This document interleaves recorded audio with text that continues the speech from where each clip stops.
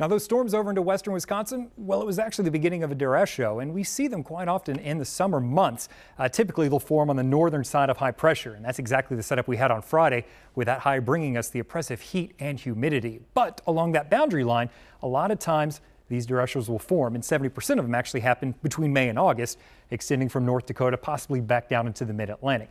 That's exactly what happened. It started off in Minnesota, and then once it came together, it really started to get those strong winds over western Wisconsin and eventually pushed down into the Ohio River Valley. Basically, in a thunderstorm, we have the updraft and the downdraft, but what happens uh, along that leading edge of the derecho?